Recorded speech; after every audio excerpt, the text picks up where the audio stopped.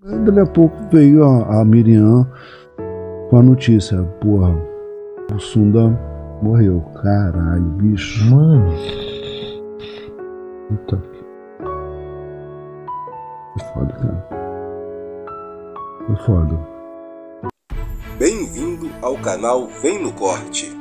Neste vídeo temos um corte onde o humorista L. de la Penha fala sobre a convivência com o humorista Bussunda e conta detalhes da sua morte. Muito obrigado pela audiência e se inscreva no canal. Vem no Corte, o pedaço que você respeita.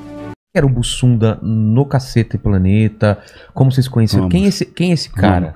O Bussunda. O Bussunda era uma figura completamente relaxada e desleixada, tal. Era Quando isso mesmo que Quando a gente aparecia? conheceu o Bussunda, quando vocês conheceram, já, tinha, já até tomava banho. Vocês pegaram ele no, na planta. O Bussunda tinha um dente verde, cara, um cabelão enorme, sabe? E, e assim, a- o quarto do Bussunda, ele tinha uma pilha de revista pornô.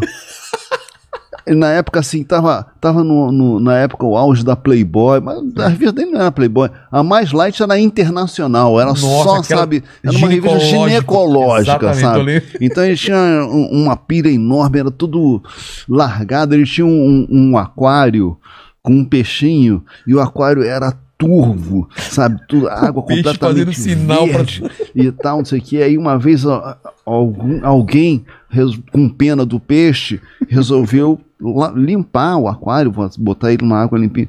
O peixe morreu, cara. o peixe falou, cara, eu tava acostumado com isso, cara. Como assim você limpa, meu?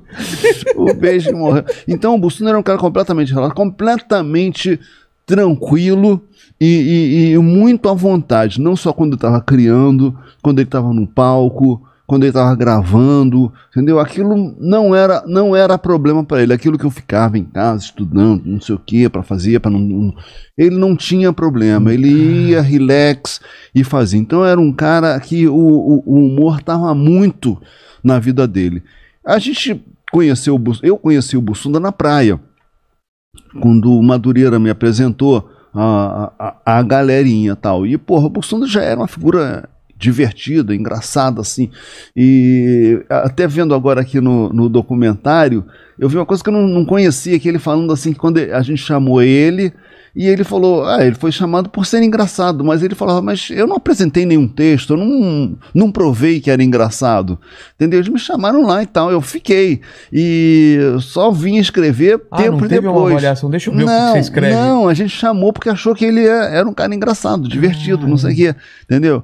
E aí ele falou, eu não me toquei que ele ficou tanto tempo sem escrever até, até começar a, a- a produzir para Era revista e tudo mais. ter ele no grupo porque ele é Era, era uma, engraçado. era uma figura, entendeu? O cara contribuía, falava merda, a gente anotava as merdas que aquele cara falava, e aí transformava em texto e tudo mais, entendeu? Então ele era essa figura. O, o disco Preto com Buraco no Meio, se você pegar, a maioria das músicas são letras do Bussunda. Ah, é? É, a maioria, que ele já tinha algumas letras lá, e quando chegou essa ideia, ele falou, pô, tá aí, eu tenho, eu tenho umas letras aqui. A gente falou, porra, beleza, o Mu Shebab, que era o produtor musical da gente, ele fez as melodias das músicas, enfim, era amigo do grupo todo, mas tinha uma, tinha uma relação já forte já com o Cláudio Manuel já de tempo, o Madureira por conta de, de estudar e tal, o, o Hubert e o Reinaldo realmente eram as figuras que vieram do Planeta Diário que a gente tinha menos intimidade, que depois com o tempo, né, depois desse tempo todo, virou todo mundo muito brother, né, mas o, o, o Bussunda, ele, ele foi inclusive padrinho do meu filho caçula, sabe, e é engraçado, porque ele era judeu, né, entendeu? Ah, é? É, o Bussunda é de família judaica, o Bussunda teve que, a, a, e a minha, a minha mulher, a Ana, ela falou assim, eu falava, Ana, mas não vai dar, cara, o cara é judeu, como é- o Cláudio é ateu, como é que você quer esses padrinhos? Não, sei que tal, botou os caras para fazer curso de, de padrinho de, de, de- de igreja católica, aí eles iam pra igreja, aí o Cláudio, o nome do Cláudio é Cláudio Besserman Viana, lá na, na, na igreja ele só escrevia Cláudio Viana, Deixava o Besserman de fora. Foi divertido, cara. Caramba. Enfim, uma relação muito próxima, muito intensa que tinha o- o- no trabalho e fora do trabalho. A gente viajava junto. Já no primeiro, no meu primeiro casamento, a gente as primeiras férias com grana, pô, vamos pro Caribe. Aí umas famílias, eu com o, o, o Joaquim pequenininho e, e, e Bel, mãe do Joaquim, e o Bussunda, Angélica e a Júlia, pequenininha. A gente, pô, foi a, a, a Curaçao, a Bonaire, a- fomos a porra, várias ilhas lá, República Dominicana, enfim, Bahamas, fomos a Bahamas, fomos a Caimã, Pô, que era engraçado quando a gente foi nas Ilhas Caimã, que, porra, é um paraíso fiscal, né? é. Então a gente falava assim, todo brasileiro que a gente já na rua, falava, esse cara, esse, cara, tá veio e aqui, escondia é. a grana. E eu, eu pensava assim, e esse cara deve estar achando que a gente também É. tá aqui. Os caras do Cassino Plantão aqui pra esconder Porra, a tá grana. vendo? Os caras estão ganhando grana, estão até com grana aqui né? Em Caimã não tinha, era só viagem e tal. Então tinha um- um- uma relação E assim não era só de trabalho. muito né? íntima. Teve um momento que aí a, a- a- o pai do Bussunda faleceu e a mãe dele ficou muito solitária, muito infeliz e tal, e o Bussunda incorporou ela nas viagens de, de férias da gente, né? Então viajava a gente, que o Bussunda encontrava com a mãe, sei que. E aí teve uma situação que a gente passou num- numa, numa aduana que a gente chegou é, na fronteira e, por aquela pilha de passaporte da família toda, não sei o que e tal, e foi lá a Helena apresentar pro cara, não sei o que, aí o cara olhava, Helena peça movimental, beleza, botava. Aí, Hélio, Couto Filho, ah, tá, o que, aí, aí, quem é Cláudio Besserman Viana? Ela queria, ele queria saber quem era a mãe dele. É um dos maiores humoristas do Brasil! Não foi isso que o cara perguntou, não. Não era bem essa. Quando a gente foi pra Copa do Mundo, cara, a Copa do Mundo era um momento máximo pro Bussunda, né? Ele era um cara, Futebol. ele adorava futebol, jogava bem, apesar da, É mesmo? apesar do, do, do- peso dele, ele era um cara que tinha um, um controle de bola muito bom, tinha um chute de esquerda excelente, Jogava ele tinha uma visão, ele jogava mais no meio de campo, Meio de assim, ele tinha, ele tinha uma visão muito boa de jogo, então lançava bem e tal, sabe? Era, era, um, era um cara bom. E é, virou um cronista esportivo, ele escrevia no jornal O Dia. Então, para ele, cara, futebol Juntou. era a- grande. Ele, no, no início, eu até achava estranho, que as, as crônicas dele no, no Dia eram a sério. Ah, é? Não tinha piadinha. Era um cronista esportivo, sabe? Caramba. E tal.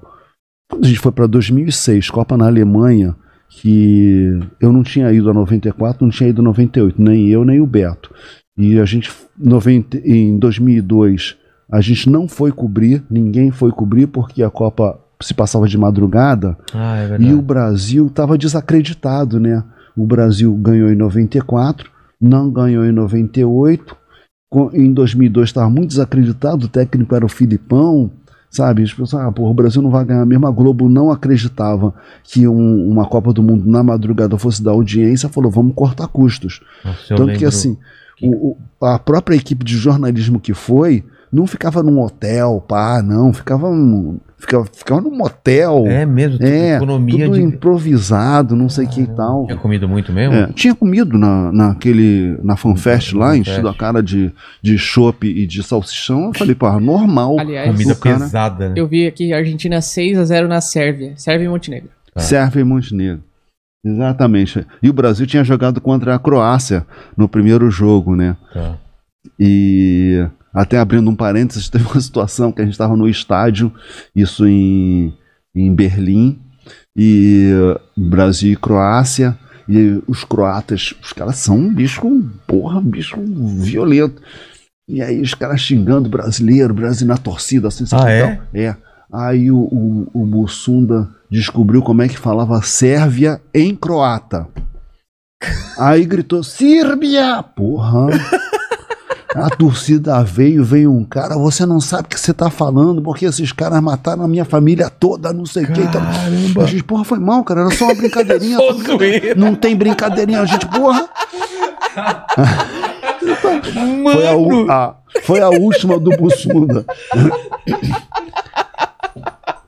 Muito bem, então o Brasil e aí a Argentina Uma e Sérvia, coisa- Sérvia dando de 6 a 0 no, no time Uma do. coisa é o Tim Maia ameaçar dar um tiro no. no- no- A Argentina dando de 6 a 0 6 a na 0, Sérvia, né? O, É isso? né? O, o, o Petkovic, né? Que era Ah, o ídolo é? do Flamengo, era, era sérvio, enfim. Toda essa história. Bussuna chegou muito animado, muito animado, não sei o quê, com- comeu pra caramba tal. Então eu achei que era, que ele tava passando mal por ter comido demais. E fui dormir. E as pessoas preocupadas, querendo saber, Bussunda, como é que você tá? Não, tá tudo bem, não sei o quê. As pessoas ligando de madrugada pra ele e tal. Aí ele falou, tá tudo bem? Cláudio Manuel ligou, tá tudo bem? Ele falou assim, se vocês de- me deixarem dormir, vai ficar tudo bem. Fez piada, ok, né? Beleza, então não vamos mais ligar, né?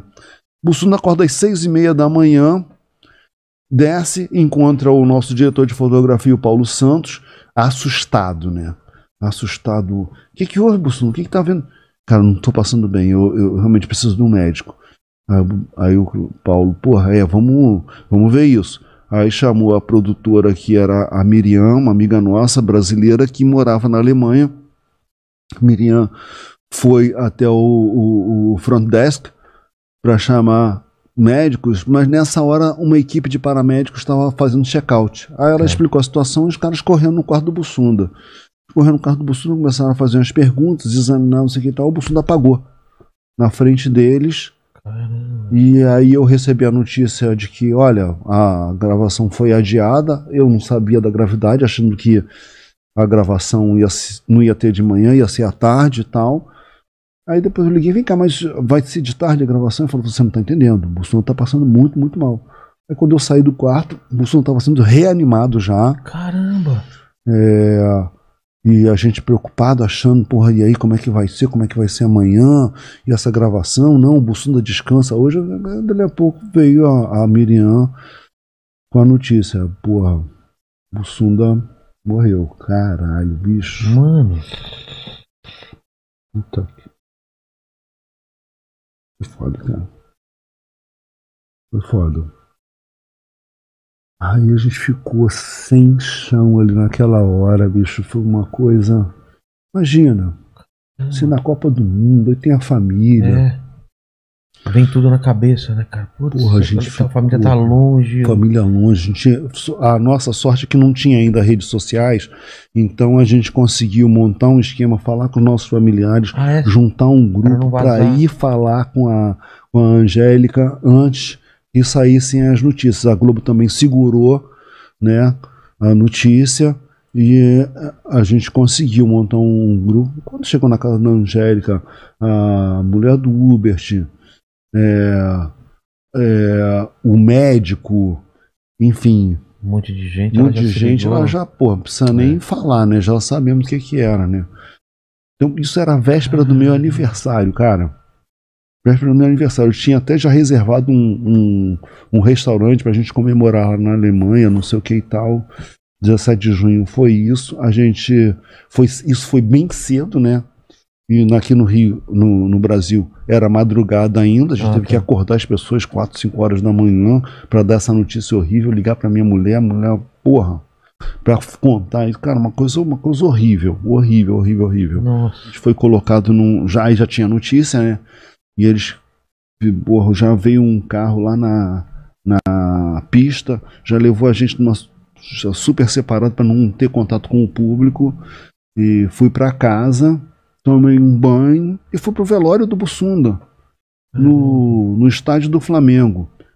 E aí, porra, Botafoguense ainda perdi um amigo, ainda tive que Ainda ir na que ir- porra do estádio do Flamengo Eu- passar o meu aniversário E o aniversário. no ainda. meu aniversário no velório de Porra, um buçuda. amigaço É. dentro do Flamengo. Eu falei, porra, esse filho da puta ainda me sacaneia É. desse jeito, cara. Depois de morto, cara. Entendeu?